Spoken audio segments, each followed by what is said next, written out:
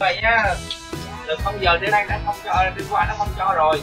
Mà công an thị xã với lại à, phóng viên ghi hình trên quốc lộ 51 từ Nguyễn Xuân đến An Đường Dày đến Phú Mỹ rồi. Mà họ đến đây họ ghi hình họ vào họ làm bản mình là mất hết 14 triệu không phạt đó. Không bán luôn. Ở đây là công an phường đến động viên nhắc nhở mình thôi chứ mình không phải là mình phạt đâu. Những người chịu trách nhiệm công an thị xã họ đang đi kiểm tra ghi hình của những phóng viên á. Ngày đầu thực hiện chỉ thị 16 là họ làm mạnh lắm á nên mình chịu khó mình đóng cửa đi chứ mình bán được tiếp thì lại mất 14 triệu đó nha anh nhắc anh đó là anh nhắc nhở mình vậy thôi chịu khó nha rồi đóng cửa đi.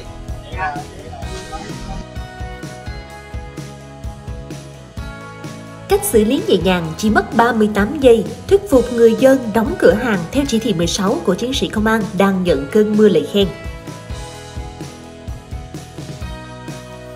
Từ 0 giờ ngày 19 tháng 7 năm 2021, toàn tỉnh Bà Rịa Vũng Tàu áp dụng chỉ thị 16, giãn cách xã hội 14 ngày để phòng chống dịch bệnh COVID-19. Vậy nhưng, cửa hàng trong đoạn clip dưới đây vẫn mở cửa bán vào khoảng 9 giờ sáng ngày 19 tháng 7. Phát hiện trường hợp này, đồng chí công an phường đã vào động viên nhắc nhở chủ cửa hàng nghiêm túc thực hiện chỉ thị, nếu không sẽ bị phạt rất nặng. Với cách làm việc nhẹ nhàng, anh chỉ mất đúng 38 giây để người dân hiểu và lập tức đóng cửa bán, tuân thủ lệnh giãn cách. Đoạn clip ghi lại một phần sự việc này sau khi được chia sẻ lên mạng xã hội đã ngay lập tức thu hút sự chú ý theo dõi. Đa số đều dành cho chiến sĩ công an này những lời khen ngợi về phong cách làm việc từ tốn, nhẹ nhàng, giúp cho người dân hiểu được vấn đề.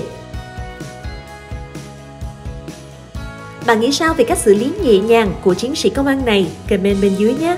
Đừng quên đăng ký kênh Sài Gòn TV để cập nhật những tin tức xã hội mới nhất. Đây họ vào họ làm biên bản mình là mất hết 14 triệu tiền phạt đó. Không bán luôn. Ở đây là công an phường đến động viên nhắc nhở mình thôi chứ mình cũng không phải là muốn phạt đâu. Nhưng vì cái trách nhiệm công an thị xã họ đang đi kiểm tra ghi hình cùng những phóng viên á ngày đầu thực hiện chỉ thị 16 là họ làm mạnh lắm á.